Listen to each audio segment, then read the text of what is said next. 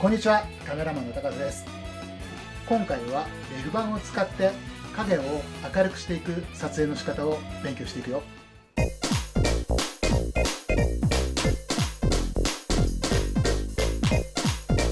前回勉強したいろいろなライティングでは影が結構多くつくライティングもあったんだけれどそうするとどうしても影の暗さが気になってきてもう今一つの写真の感じになってしまいます。そんな時はこのレフ板で明るくしていきましょう、えー、裏側を見ると分かる通り段ボール紙に白い紙を貼っただけのものです。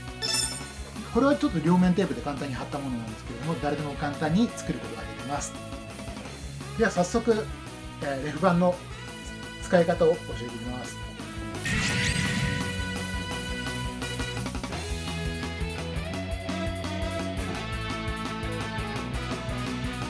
まずは、えー、プレーンなライティングで、えー、ライティングした状態の、えー、ガンダム見てみるとちょっと顔が暗いです、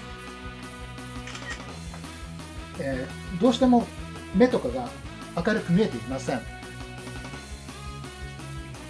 こんな時にはここにレフ板を当てます。被写体に対してライトの位置の逆側からレフ板を当てます。角度を調整しながら目が明るくなるように当てていきます。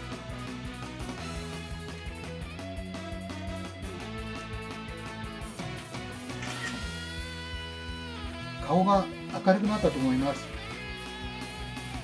レフ板が入ったおかげで目も光って見えます。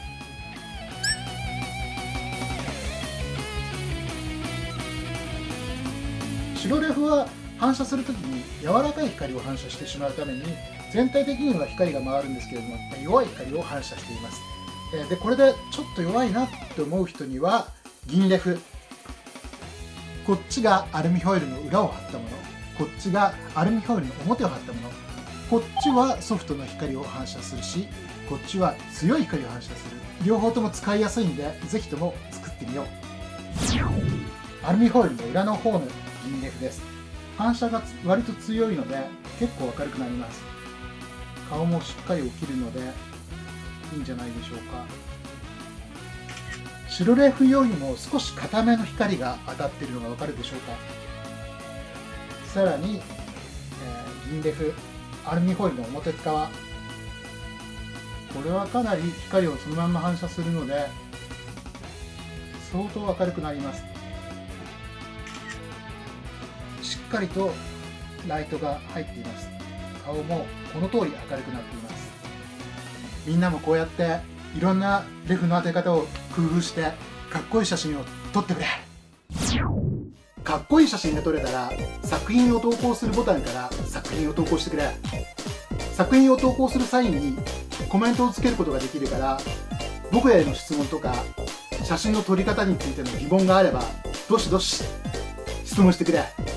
待ってるぜ。